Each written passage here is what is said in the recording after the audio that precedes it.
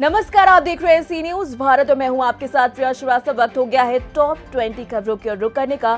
तो शुरू करते हैं टॉप 20 खबरों का सिलसिला। मतगणना के बीच अमित शाह ने अजीत पवार से की 25 मिनट तक बात। एकनाथ शिंदे ने कहा, आरोप लगाने वालों को काम से जवाब दिया। एकनाथ शिंदे ने कहा कि महायुति को महाराष्ट्र में बहुमत, हमें अपने काम का फल मिला। देवेंद्र फडणवीस से मिलने पहुँचे राहुल नार्वेकर। महाराष्ट्र महायुति 215 सीटों पर आगे एमबीए अट्ठावन पर अटकी। आज शाम बीजेपी मुख्यालय जा सकते हैं पीएम मोदी। वायनाड में प्रियंका गांधी दो लाख वोटों से आगे डेब्यू चुनाव में लहराया परचम।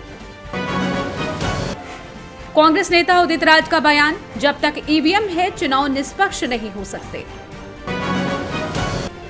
महाराष्ट्र, धरावी से कांग्रेस की ज्योति गायकवाड़ आगे।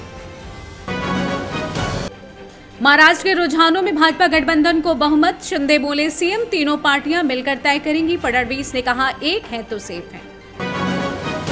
लखनऊ की गोमती नदी में मिला युवक का शव, लोगों ने बहते हुए देखा तो पुलिस को दी सूचना, गोताखोरों ने निकाली डेड बॉडी। सीसामऊ में सपा की नसीम सोलंकी जीती। बीजेपी प्रत्याशी सुरेश अवस्थी ने हार स्वीकार की। बोले, हिंदू वोट न बढ़ता तो जीत हमारी पक्की थी। मुरादाबाद में भाजपा के रामवीर की जीत तय। सत्रहवें राउंड की गिनती पूरी। भाजपा इक्यानवे हज़ार नौ वोटों से आगे। लखनऊ में दिलजीत ने भौकाल मचा दिया, शराब को लेकर दिया ओपन चैलेंज। बोले श्री कृष्ण का तोहफा हमेशा याद रखूँगा।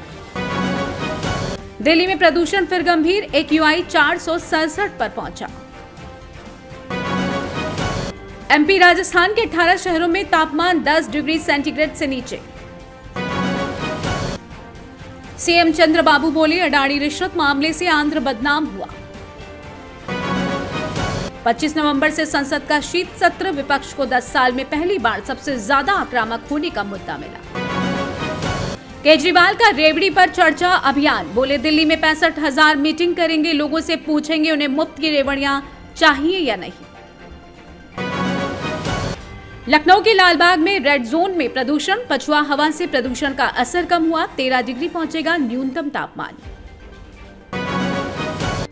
टॉप 20 खबरों में फ़िलहाल के लिए ही। देश दुनिया की बाकी खबरों के साथ आप जुड़े रहने के लिए देखते रहिए सी न्यूज़ भारत।